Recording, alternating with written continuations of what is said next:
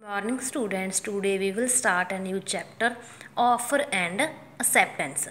As we know that the word offer means proposal, means proposal by one party and its acceptance by the another party. Like uh, example देखो ਆਪਾਂ suppose A wants to sell his car and B wants to purchase it. Then it is an offer made by one party and acceptance by the another party. The person making offer it is called offerer and the person who accepting it it is known as a offering. Means ਕੀ ਹੈ? Offer and acceptance ਦਾ meaning ਕੀ ਹੈ? ਆਪਾਂ contract ਪੜ੍ਹ ਚੁੱਕੇ ਹਾਂ ਕਿ ਕੰਟਰੈਕਟ ਕੀ ਹੈ? ਕੰਟਰੈਕਟ ਤਾਂ ਹੀ ਪੋਸੀਬਲ ਹੈ ਜੇ ਕੋਈ ਕਿਸੇ ਨੂੰ ਕੀ ਕਰ ਰਿਹਾ ਹੈ? ਆਫਰ ਕਰ ਰਿਹਾ ਹੈ ਤੇ ਉਸ ਨੂੰ ਕੋਈ ਅਸੈਪਟ ਵੀ ਕਰ ਰਿਹਾ ਹੈ। ਫੇਰ ਹੀ ਉਹਨਾਂ ਦੇ ਵਿੱਚ ਕੋਈ ਕੰਟਰੈਕਟ ਕ੍ਰੀਏਟ ਹੋ ਸਕਦਾ ਹੈ। ਤਾਂ ਆਪਣਾ ਇਹ ਕੀ ਹੈ? Offer and acceptance so proposal or offer.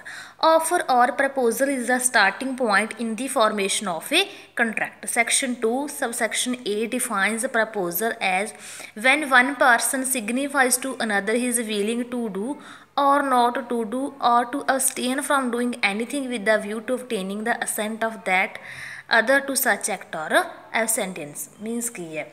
ਤਾਂ ਆਪਾਂ ਕਹਿ ਸਕਦੇ ਹਾਂ ਕਿ ਆਫਰ ਕੀ ਹੈ? ਜਦੋਂ ਕੋਈ ਪਰਸਨ ਹੈ ਜਿਹੜੀ ਆਪਣੀ ਵੀਲਿੰਗਨੈਸ ਦੂਜਿਆਂ ਦੇ ਨਾਲ ਸ਼ੇਅਰ ਕਰ ਰਿਹਾ ਹੈ, ਵੀ ਜਦੋਂ ਕੁਝ ਉਹ ਕਿਸੇ ਨੂੰ ਕੀ ਕਰ ਰਿਹਾ ਹੈ ਵੀਲਿੰਗ ਹੈ ਕੁਝ ਦੇਣ ਦੇ, ਤਾਂ ਆਪਾਂ ਉਹਨੂੰ ਕੀ ਕਹਿ ਸਕਦੇ ਹਾਂ? ਆਫਰਰ ਕਹਿ ਸਕਦੇ ਹਾਂ। ਜੋ ਇਸ ਚੀਜ਼ ਨੂੰ ਅਸੈਪਟ ਕਰ ਰਿਹਾ ਉਹ ਕੌਣ ਹੈ? ਆਫਰਰ ਹੀ ਹੈ।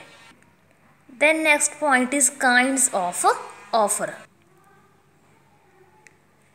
an express offer.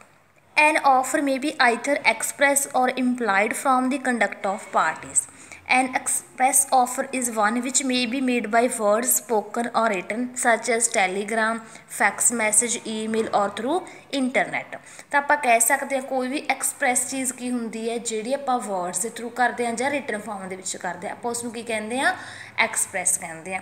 ਬਟ ਜੋ ਆਪਣੀ ਇੰਪਲਾਈਡ ਹੁੰਦੀ ਹੈ, ਉਹਦੇ ਵਿੱਚ ਨਾ ਹੀ ਤਾਂ ਕੁਝ ਰਿਟਨ ਹੁੰਦਾ ਹੈ ਤੇ ਨਾ ਹੀ ਕੋਈ ਵਰਡਸ ਹੁੰਦੇ ਉਹ ਸਿਰਫ ਕਿਵੇਂ ਹੋ ਜਾਂਦੀ ਹੈ ਸਰਕਮਸਟੈਂਸਸ ਕਰਕੇ ਉਹ ਕ੍ਰੀਏਟ ਹੋ ਜਾਂਦੀ ਹੈ। ਤਾਂ ਆਪਾਂ ਉਸ ਤਰ੍ਹਾਂ ਦੀ ਆਫਰ ਨੂੰ ਕੀ ਕਹਿ ਸਕਦੇ ਹਾਂ? ਇੰਪਲਾਈਡ ਆਫਰ ਕਹਿ ਸਕਦੇ ਤਾਂ ਆਫਰ ਦੇ ਦੋ ਟਾਈਪਸ ਨੇ ਐਕਸਪ੍ਰੈਸਲੀ ਵੀ ਕਰ ਸਕਦੇ ਹਾਂ ਤੇ ਇੰਪਲਾਈਡਲੀ ਵੀ ਕਰ ਸਕਦੇ ਹਾਂ।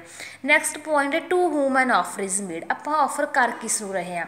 To a particular person particular group or public at large means ਆਪਾਂ ਕਿਸੇ ਇੱਕ ਪਰਸਨ ਨੂੰ ਆਫਰ ਕਰ ਰਹੇ ਹਾਂ ਜਾਂ ਆਪਾਂ ਨਿਊਜ਼ਪੇਪਰ ਦੇ ਵਿੱਚ ਦੇ ਰਹੇ ਹਾਂ ਆਫਰ ਵੀ ਐਨੀਬਾਡੀ ਕੈਨ ਸੈਪਰੇਟ ਪਬਲਿਕ ਨੂੰ ਮਾਸ ਮੀਡੀਆ ਥਰੂ ਕਰ ਰਹੇ ਹਾਂ।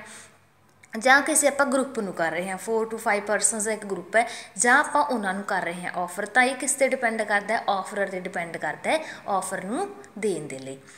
Then next topic is essentials of valid offer ਹੁਣ ਜਿਵੇਂ ਆਪਾਂ ਕੰਟਰੈਕਟ ਦੇ ਐਸੈਂਸ਼ੀਅਲ ਐਲੀਮੈਂਟਸ ਕੀਤੇ ਸੀ, ਹੁਣ ਆਪਾਂ ਕਰ ਰਹੇ ਹਾਂ ਆਫਰ ਦੇ ਐਸੈਂਸ਼ੀਅਲ ਐਲੀਮੈਂਟਸ ਵੀ ਆਫਰ ਕ੍ਰੀਏਟ ਕਿਵੇਂ ਹੋ ਸਕਦੀ ਹੈ?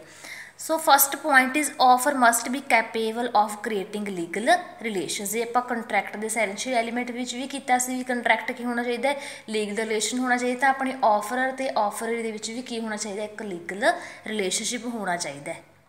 Then next point is offer must be certain definite and not vague vague ਕੀ ਹੋਣਾ ਚਾਹੀਦਾ ਜਦੋਂ ਕੋਈ ਚੀਜ਼ ਕਲੀਅਰ ਨਾ ਹੋਵੇ unclear no contract can come into existence if the terms of the offer are vague or loose and indefinite both the party should be clear about legal consequences means ਕੀ ਹੈ? ਇਹ ਕੀ ਕਹਿਣਾ ਚਾਹ ਰਿਹਾ? ਹੈ ਉਹਦਾ ਐਗਜ਼ੈਕਟ ਮੀਨਿੰਗ ਹੀ ਕਲੀਅਰ ਹੋਵੇ ਬੀ ਨੂੰ। ਤਾਂ ਆਪਣੀ ਜਿਹੜੀ ਆਫਰ ਹੈ ਉਹ ਕੀ ਹੋਣੀ ਚਾਹੀਦੀ ਹੈ?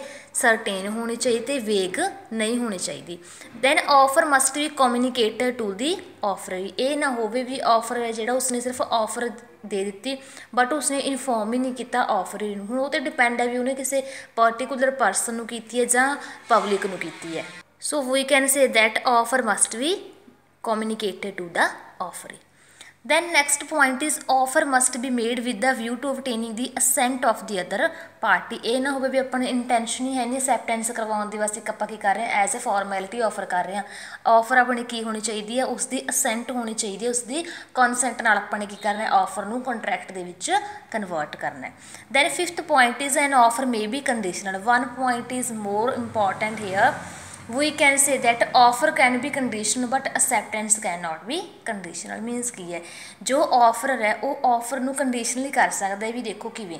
ਜੇ ਆਪਾਂ ਗੱਲ ਕਰੀਏ ਵੀ ਆਪਾਂ ਕਿਤੋਂ ਰॉ ਮਟੀਰੀਅਲ ਮੰਗਵਾਉਣਾ ਤਾਂ ਉਹ ਕੰਡੀਸ਼ਨ ਲਗਾ ਕੇ ਕਹਿ ਸਕਦਾ ਵੀ ਜੇ ਆਇਆ ਤਾਂ ਮੈਂ ਅੱਗੇ ਕਰ ਦਿਆਂਗਾ ਸਪਲਾਈ ਹੋ ਸਕਦੀ ਹੈ, ਦੇਖੋ ਕੰਡੀਸ਼ਨਲ ਬਟ ਜੋ ਅਸੈਪਟੈਂਸ ਹੈ, ਉਹ 100% ਹੀ ਹੋਣੀ ਚਾਹੀਦੀ ਹੈ। ਅਸੈਪਟੈਂਸ ਕਦੇ ਵੀ ਕੰਡੀਸ਼ਨਲ ਨਹੀਂ ਹੋ ਸਕਦੀ ਕਿ ਮੈਂ ਅਸੈਪਟ ਕਰ ਵੀ ਸਕਦਾ, ਤੁਹਾਡੀ ਆਫਰ ਨਹੀਂ ਵੀ ਕਰ ਸਕਦਾ, ਤਾਂ ਫਿਰ ਉੱਥੇ ਕੰਟਰੈਕਟ ਹੀ ਨਹੀਂ ਕ੍ਰੀਏਟ ਹੋਏਗਾ। ਤਾਂ ਕਰਕੇ ਆਪਾਂ ਕੀ ਕਹਿ ਸਕਦੇ ਵੀ ਆਫਰ ਕੀ ਹੋਣੀ ਚਾਹੀਦੀ ਹੈ ਕੰਡੀਸ਼ਨਲ ਹੋ ਸਕਦੀ ਹੈ। Next point is offer should not contain a term the non compliance of which would amount to acceptance one can cannot say while making the offer that if the offer is not acceptance before a certain date it will presume to have been accepted. Means ਕੀ ਹੈ? Suppose ਕਰੋ offer ਦੇ ਲਈ offer ਇਹਨੇ ਦਿੱਤੀ ਸੀ offer 15 days ਦੇ under under accept ਨਹੀਂ ਹੋਈ। ਤਾਂ ਜੋ ਆਫਰ ਹੈ, ਉਹ ਇਸ ਤਰ੍ਹਾਂ ਨਹੀਂ ਸੋਚ ਸਕਦਾ ਵੀ ਮੇਰੀ ਆਫਰ ਅਸੈਪਟ ਹੋ ਗਈ।